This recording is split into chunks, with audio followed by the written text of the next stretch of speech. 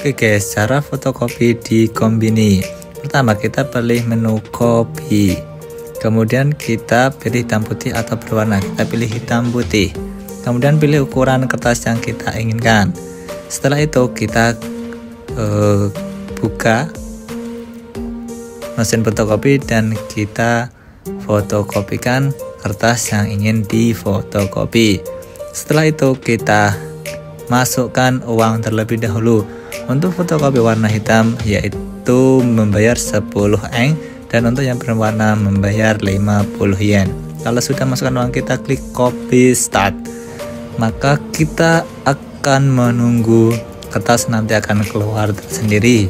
Oke guys, kertas sudah keluar dan ini hasil fotokopiannya. Setelah itu kita ambil fotokopi yang ada di mesin fotokopi. Bagaimana? Cukup mudah kan cara mengcopy di Kombini. Kemudian kalau sudah kita mengambil uang kembaliannya. Karena uang saya 100 tadi di sini masih harus kembali 90 yen.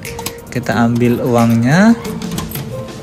Kemudian selesailah proses fotokopi di mesin kombini atau minimarket di Jepang.